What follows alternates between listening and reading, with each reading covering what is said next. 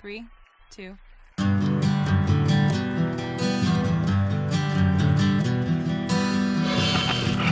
Down at the mall is the one who's got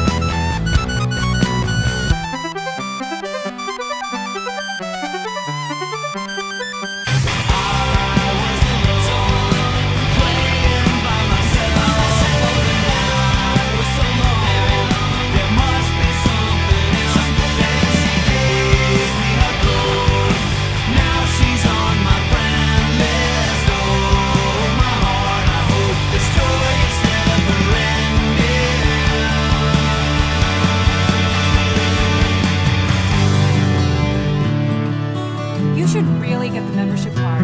It's only $15 and it comes with a free magazine subscription. I totally want